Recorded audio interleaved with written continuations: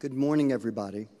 I'm Jeff Borenstein, and I have the privilege and honor of serving as the President and CEO of the Brain and Behavior Research Foundation.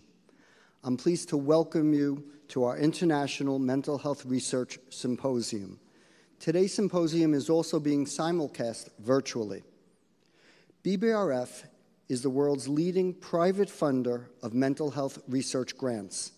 The foundation funds the most innovative ideas in neuroscience and psychiatry to better understand the causes and develop new ways to treat brain and behavior disorders.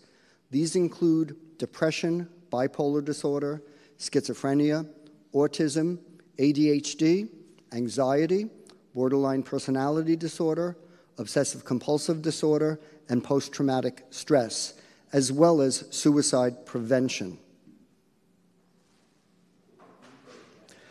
All of our funding comes from private donations. 100% of every dollar donated for research is invested in our research grants. Our operating expenses are covered by separate foundation grants. This means that if you donate a dollar for research, that dollar goes directly to the scientist. At the beginning of the year, we received a $1 million challenge match from two very generous family foundations that are passionate about BBRF's mission. The goal of the match is to accelerate the momentum in brain research as further breakthroughs are still needed. I'm happy to tell you that we have met the goal and achieved our $1 million challenge match.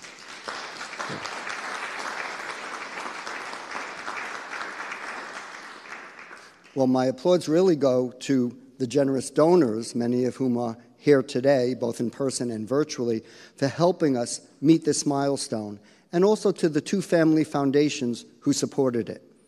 And I'm delighted to share that those two family foundations have generously increased their match by an additional $1 million. This means, yes, that gets a big applause. this means that donations to BBRF will be matched from new donors, donors who have lapsed but make a 2023 contribution, and donors who have increased their 2023 contribution by the amount that they increased. Since 1987, the foundation has awarded more than $450 million to more than 5,400 scientists around the year, around the world. Um, each year, we provide 150 young investigator grants uh, for their two-year grant. So at any one point in time, there are 300 young investigators being supported by BBRF. I'm also delighted to announce some additional good news. The BBRF Distinguished Investigator Program will return in 2024. We're thankful to the Woodnext Foundation for helping us bring this to fruition. The researchers we support are selected by our scientific council. The council, led by Dr. Herb Pardes, is a group of 194 world renowned scientists across disciplines in brain and behavior research. The projects selected by the Scientific Council are chosen specifically to open new frontiers in research and support innovative ideas that may not be supported elsewhere. Through this model of research grant selection, the Foundation fills a gap that has resulted in some of the most important advances in the field. I want to share with you a few of those advancements, just to give you an idea. Um, clozapine. Clozapine is one of the most effective medicines in the treatment of schizophrenia. Um, and the clinical trial for clozapine, led by Dr. Herb Meltzer, received support from BBRF, and it was that trial that resulted in FDA approval for clozapine. Another advancement is the development of rapid acting antidepressants. Initially worked with ketamine, um, and in 2019, a form of ketamine, S-ketamine, was approved um, to support, to, to provide treatment for refractory depression. We've supported over 90 research grants looking at the use of rapid acting antidepressants. And the early support that we gave to Dr. Dennis Charney and Dr. John Krystal helped bring this field to fruition. Another key advancement is transcranial magnetic stimulation, TMS. We were early supporters of Dr. Mark George at the University of South Carolina as a young investigator in the development of TMS for depression. We've continued to support work in this area.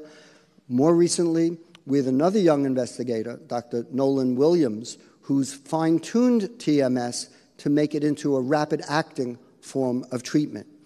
His form of TMS was approved by the FDA recently um, as a rapid acting antidepressant. Choline as a dietary supplement. In our field, we've done a lot to treat conditions, but we really haven't yet done as much to prevent them.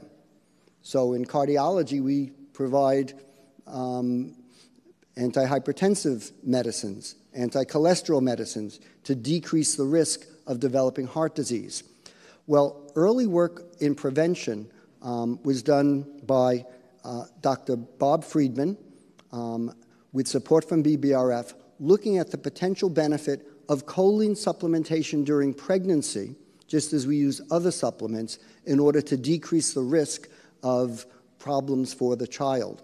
And that work is continuing the AMA now recommends choline supplementation during pregnancy um, to protect the child from potentially developing schizophrenia and other illnesses down the road. Brexanolone is the first medicine specifically approved by the FDA for treating postpartum depression, and it's a rapid acting antidepressant. We were supporters in early work that led to that development. And I just want to point out some basic research because it's not just clinical work that we support. We were supporters in, the development of optogenetics. Um, Dr. Carl Deisseroth and colleagues helped develop this. This is a way of genetically engineering brain cells so they respond to light. And it's a way to study the brain to better understand the brain. It's being used by thousands of labs around the world. And BBRF was an early supporter of the development of optogenetics.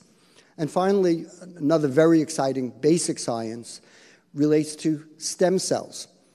We're, we can't just go and take samples of people's brain cells, it's too invasive. But we are able to take a sample of a skin cell, turn them into stem cells, and then in the lab turn them into brain cells. And this is a way to begin to study differences in brain cells of people who may have a, a condition and who are not um, experiencing that condition. Uh, these are some of the advancements that have happened as a result of support from BBRF. The success of BBRF is made possible because of the support and leadership of our board of directors, led by our chair, Jeff Simon. Jeff is sitting right over here. Please wave. Thank you, Jeff, for your leadership. I also want to thank a number of our board directors who are with us today. I'll ask them to stand or raise their hand when I say their name. Don Boardman, who serves as our treasurer. Where's Don? There's Don. Marty Borell. There's Marty over there. Dr. Judy Genshaft, who's also over there. Miriam Katowitz, who serves as our vice president. Okay.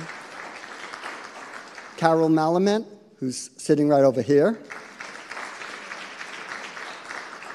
John Osterhaus, who serves as our secretary. John is right there.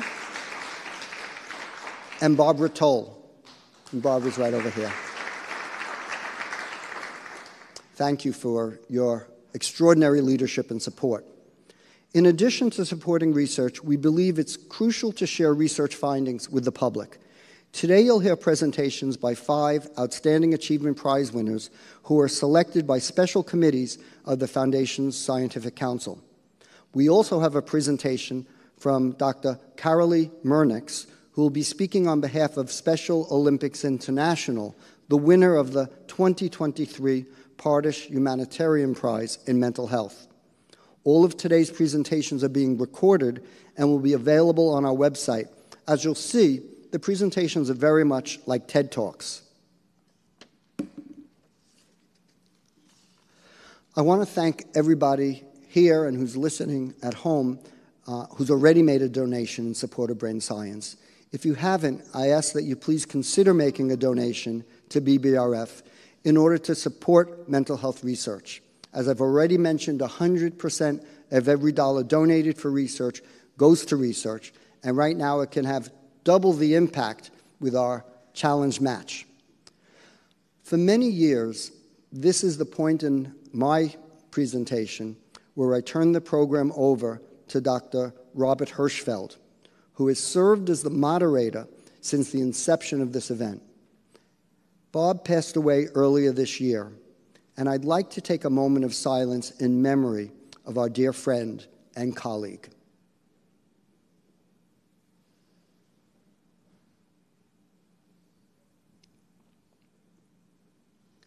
In addition to serving as the moderator of the symposium, Dr. Hirschfeld was also a member of the Colvin Prize Committee and chair of the Klerman Prize Committee.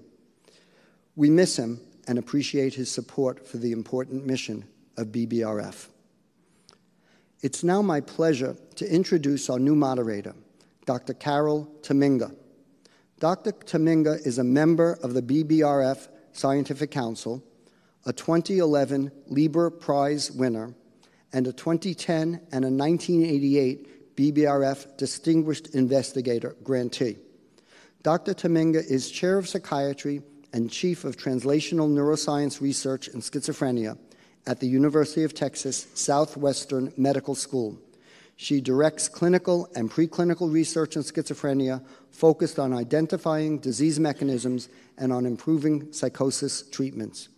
Carol, Thank you for all your ongoing work to support the BBRF mission. Please come up here to the podium.